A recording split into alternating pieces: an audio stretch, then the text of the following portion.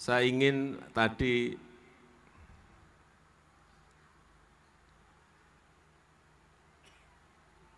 ada mbak yang melantunkan syair alfiah ibnu malik. Yang pertama tadi tolong maju ke depan.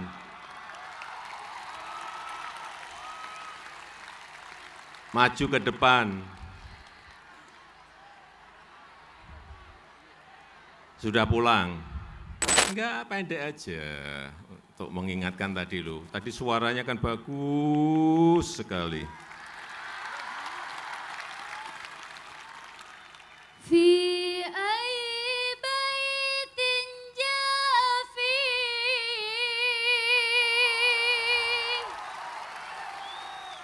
cukup sepeda satu.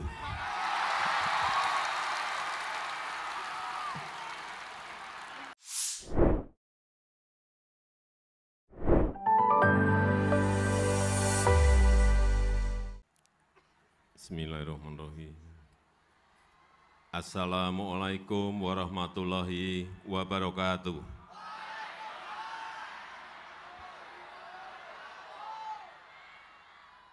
Yang saya hormati para menteri,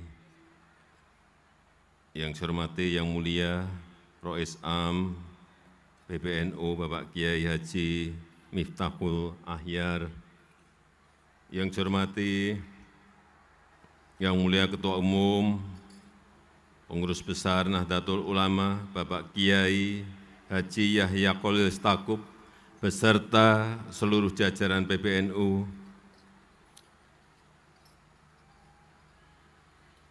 yang saya hormati Gubernur Jawa Timur, beserta Bupati, Kabupaten Banyuwangi, yang saya hormati para kiai, para ibu nyai, para pengasuh pondok pesantren yang tidak bisa saya sebutkan satu persatu. Yang saya hormati, yang mulia Habib Syekh Abdul Qadir, Aziz Sigap, beliau ini adalah Habib dari Solo, tetapi saya sudah kira-kira delapan tahun tidak bertemu, dan bertemunya justru di Banyuwangi. Kalau dulu saat saya masih wali kota tiap hari saya sering bertemu dengan Habib Syekh. Yang saya hormati Ketua SC Bapak Erick Thohir dan Ketua OC Ibu Yeni Wahid, Bapak Ibu sekalian hadirin undangan yang berbahagia yang tidak bisa saya sebutkan satu persatu. Sebelum saya menyampaikan sambutan, saya ingin tadi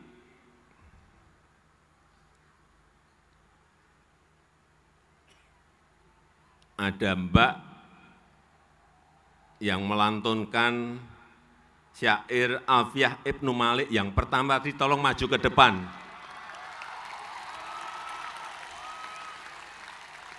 Maju ke depan. Sudah pulang.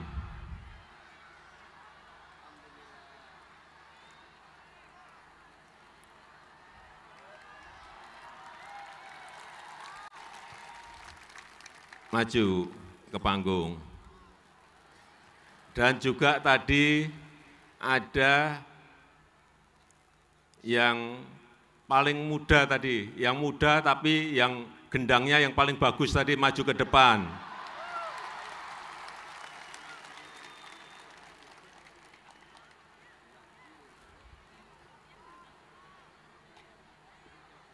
Mana tadi yang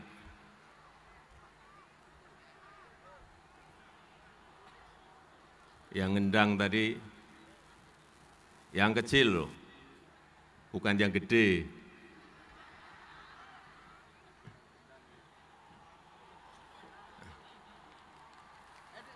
Silakan sini.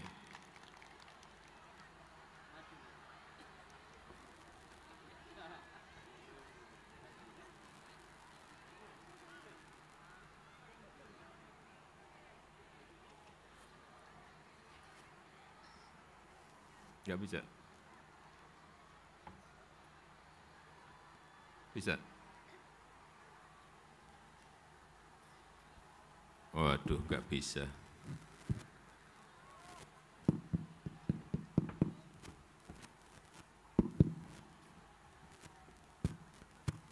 Bisa. Ya, coba diulang lagi satu ini aja. Satu bait saja tadi.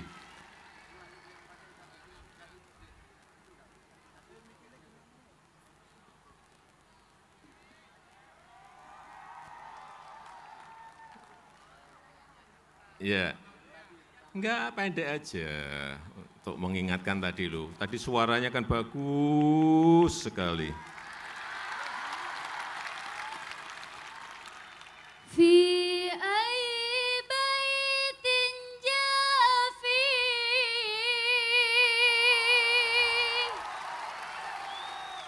Cukup sepeda satu.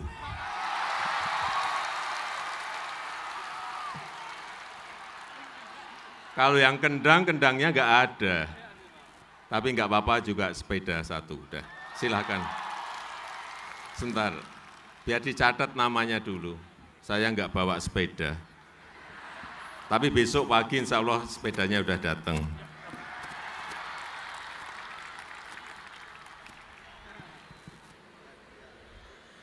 Alhamdulillah kita sangat bersyukur tanah air kita Indonesia ini adalah Zamrud Katulistiwa dengan suku, bahasa, budaya, agama yang beragam, yang berbineka tunggal ika, saling akulturasi, berasimilasi dan beradaptasi, saling bersilang budaya tanpa kehilangan jati diri serta rukun dan bersatu. Ini kita lihat apa yang kita lihat malam ini adalah apa yang tadi baru saja saya sampaikan.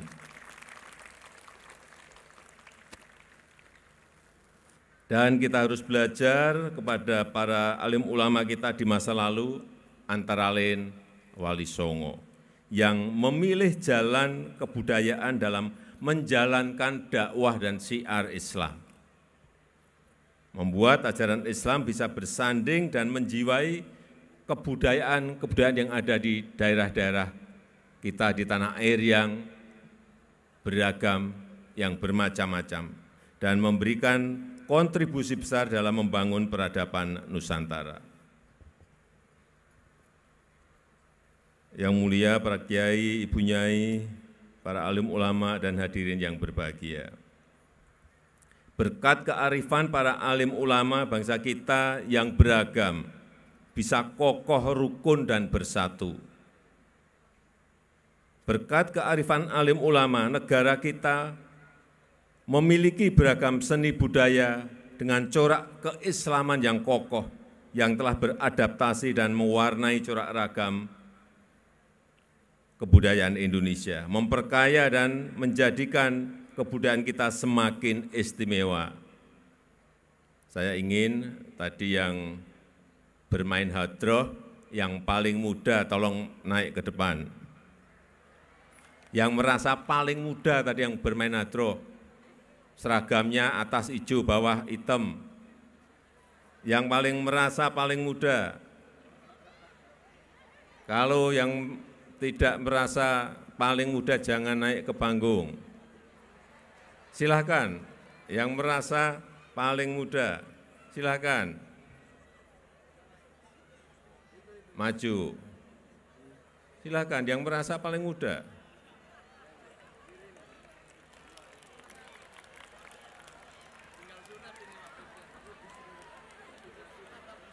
Ini coba mau kita sunat.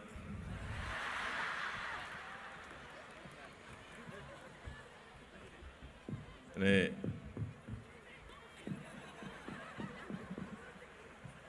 ini ini namanya nama nama bisa Dian Dian nama Dian umur 12. 12. Ini Aufa, Pak. Aufa. Aufa. Aufat, umur 12. 13. 13, menang Dian. Dit. Adit, umur 12, 12, 12, yang menang 13. Dapat sepeda. Dah, silakan turun. Dah, enggak tiga-tiganya dapat sepeda, jangan. Saya guyonan saja.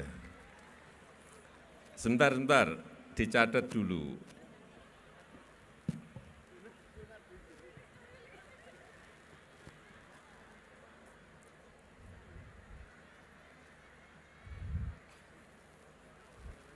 Bapak Ibu sekalian yang saya hormati, seni dan budaya bukan hanya tontonan, tetapi juga mengandung pesan tuntunan, tuntunan hidup untuk selalu mengingat keagungan Allah Subhanahu wa taala.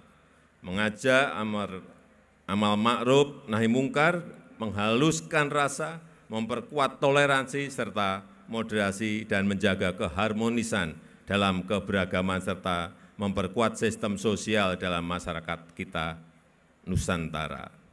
Karena itu saya ingin mengajak umat Islam di seluruh penjuru tanah air, khususnya warga Nahdlatul Ulama, untuk ikut menjaga dan melestarikan kekayaan budaya Nusantara yang beragam, menggunakan seni budaya sebagai bagian dari dakwah dan siar untuk membangun peradaban, membawanya tetap eksis dan mampu beradaptasi dengan kemajuan zaman di masa depan. Oleh sebab itu, saya sangat menghargai dalam rangkaian acara peringatan satu abad Nahdlatul Ulama saat ini digelar Festival Tradisi Islam Nusantara untuk menampilkan dan memperkenalkan kembali kekayaan tradisi Islam Nusantara dan mengunggah kepedulian dan kecintaan kita pada kekayaan budaya bangsa. Terima kasih kepada seluruh keluarga besar Nahdlatul Ulama yang telah konsisten, tetap istiqomah, mengambil peran sebagai penebar toleransi, penebar kesejukan dan keharmonisan, dan selalu mengedepankan ukhuwah Islamiyah, selalu mengedepankan ukhuwah watoniyah, selalu mengedepankan ukhuwah basariyah, dan berdiri terdepan dalam mengawal tegaknya NKRI, Negara Kesatuan Republik Indonesia. Saya rasa itu yang ingin saya sampaikan dalam kesempatan yang berbahagia ini dan terakhir dari Banser yang umurnya paling tua. Silahkan maju. Yang merasa umurnya paling tua silahkan maju.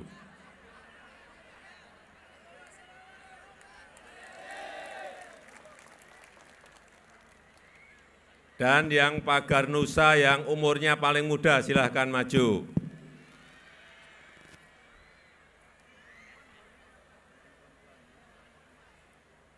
Yang perempuan, yang paling muda yang perempuan, Pagar Nusa silahkan maju.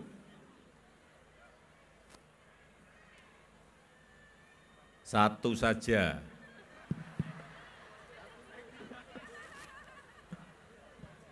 Ayo udah naik. Silakan dikenakan nama Daryono. Nama Sudaryono. Mas Sudaryono dari Dari Satkorcap Banser Banyuwangi. Satkorcap Banser Banyuwangi. Satkorcap Banser Banyuwangi. Umur berapa, Pak Dar?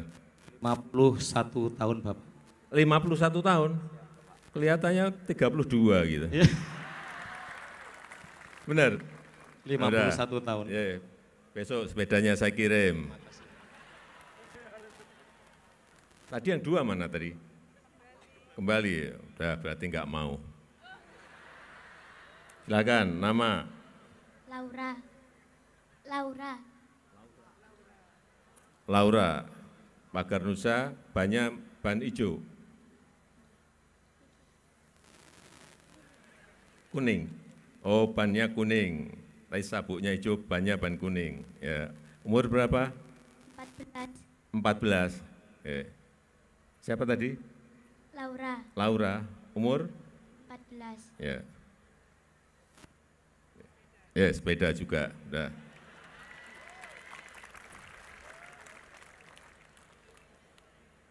Silakan. Satu lagi. Sekarang pertanyaan silahkan maju. Siapa pun boleh. Tapi jangan rebutan. Hari Santri Nasional diperingati tanggal berapa? Maju cepat. Stop. Udah.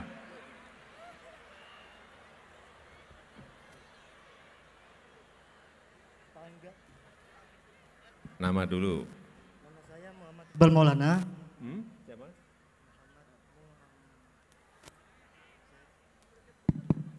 Muhammad Iqbal Maulana. Muhammad Iqbal Maulana. Pertanyaannya, Hari Santri Nasional diperingati pada tanggal dan bulan berapa? Tanggal 22 bulan Oktober. 22 bulan Oktober, betul. Nah.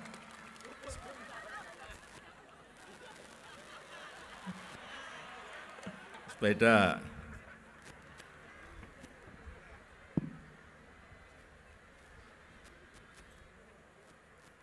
Saya rasa itu yang ingin saya sampaikan dalam kesempatan yang baik ini dan saya tutup. Wassalamualaikum warahmatullahi wabarakatuh.